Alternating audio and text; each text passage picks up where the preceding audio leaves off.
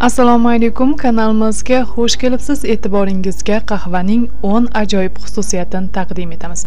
Demak bir ertalab och qoringa qahva ichish tavsiya etilmaydi. Shusiz ham organizmingiz kortizol gormonini ishlab chiqarib tetiklasha oladi. Qahva uchun eng ma'quli soat 9-10 2 bu ichimlik peshob ajralishini faollashtiradi deyishadi.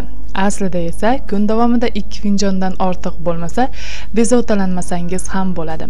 3 qahva tarkibida antioksidantlar ko'p. Me'yorda qabul qilinsa organizmdagi erkin radikallar bilan oson kurashadi. To'rt. Bir finjon qahva ichib organizm uchun zarur bo'lgan kunlik va ikki vitaminning o'n bir foizi va besh vitaminning olti foizi kaliyning uch foizi hamda magniyning ikki foiziga ega bo'lasiz.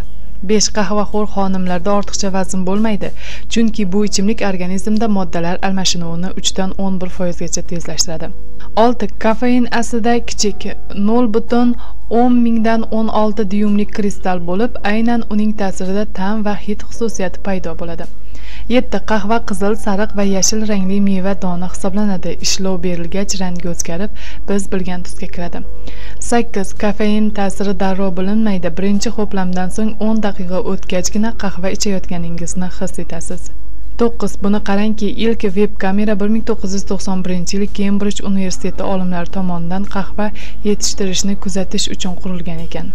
O'n jismoniy mashqlarni boshlashdan avval bir finjon qahva ichib olsangiz organizmda adrenalin miqdori ortib yog' to'qimalaridagi yog' kislotalari tozalanadi. Tetiklashish uchun ham qora qahva shuningdek mazali ichimlik o'rnida esa sutli qahva qabul qilishingiz mumkin. Hozircha shular kanalimizni kuzating va doimo sog' salomat bo'ling. Hayron o'z kanali faqat siz uchun.